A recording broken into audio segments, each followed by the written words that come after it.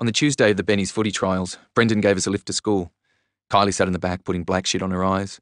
Brendan kept checking her out in the rear vision mirror, a smirk sitting on his lips. You glamming up for someone? No. He gave me a nudge. I shifted across in my seat. Piss off, Brendan, Kylie whined. Can't your uncle ask you a question? Yeah, right. Well, you're a pretty girl. Brendan, don't boys like pretty girls? You tell me. She turned around and leant out the window. If he knew what was good for him, he'd stop now.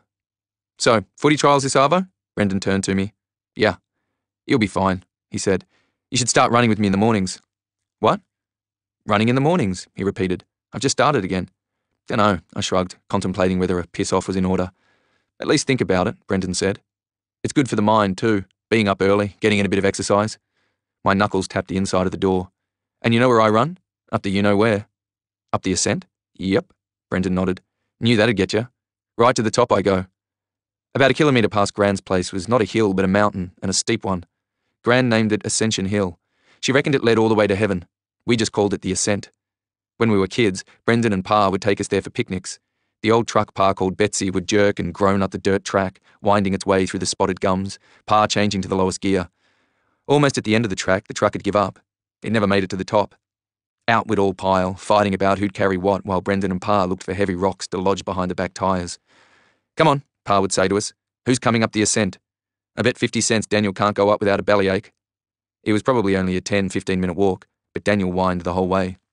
If it's this hard to get to heaven, Daniel would whisper so Pa didn't hear, I'd rather go to hell.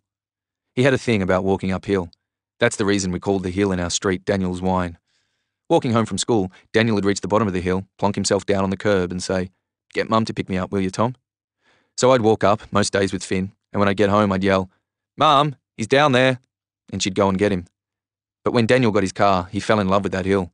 Luke and him would fly down, Daniel never letting his foot touch the brake.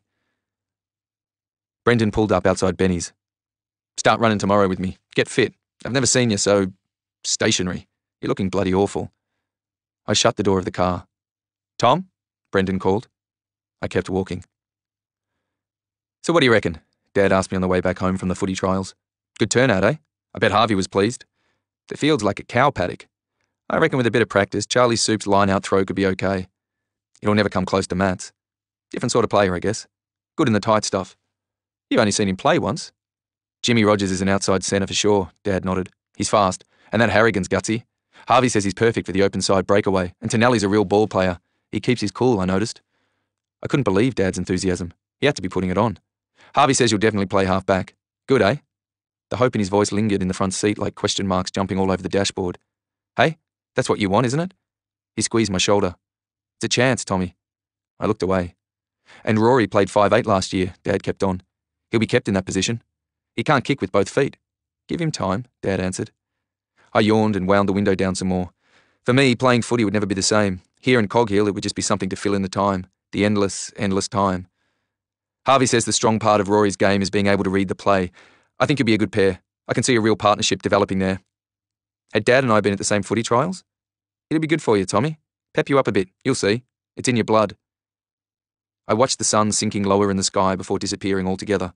There was nothing in my blood. Nothing.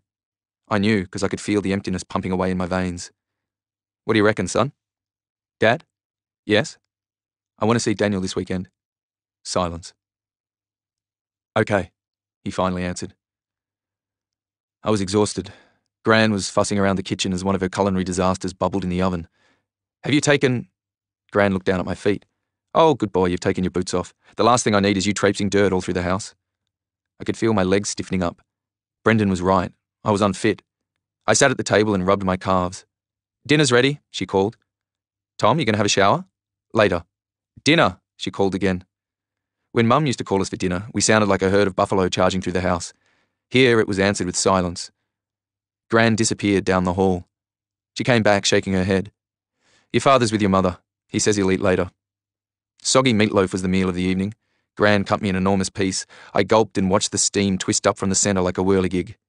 There we go. She pushed the plate to me. Where's Kylie? She'll be home soon. Gran covered the rest of the meatloaf in foil. Brendan's picking her up from Brianna's. She's working on some project over there. Sure, I thought. Swallow the other one. Kylie was up to something.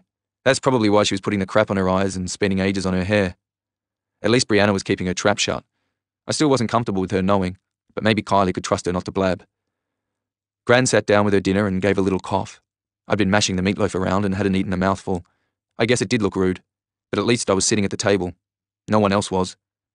I took a deep breath and lifted the fork to my lips. She coughed again. Haven't you forgotten something? I put my fork down. I just couldn't get in step with life here. Sorry, I mumbled. That's all right, she whispered. How about you saying grace tonight?